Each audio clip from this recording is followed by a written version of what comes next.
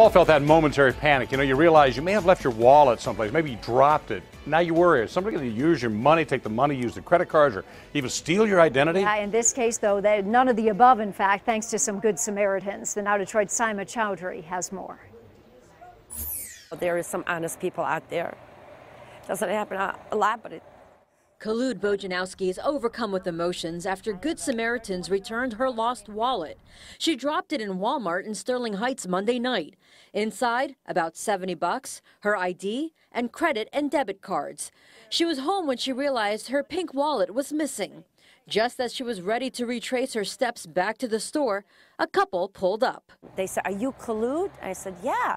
So I got out of my car and they said, We have your wallet and my heart just sunk. The couple found the wallet and drove more than an hour to return it to Kalud, who lives in Washington Township.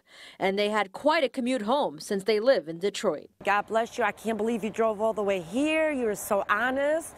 I said, Oh my God, people are not like that every day. I hugged them and they hugged me and, and I gave them gas money. I couldn't believe that they actually took the time and drove all the way to my home. Kalud wishes more people were that kind. Just do the right thing. That's all I ask of people. And the Good Samaritans have now made a new friend. God bless her and her family always. So always be my prayers. And Kalud plans to send a check to the couple to express her gratitude. In Sterling Heights, Simon Chowdhury for the Now Detroit.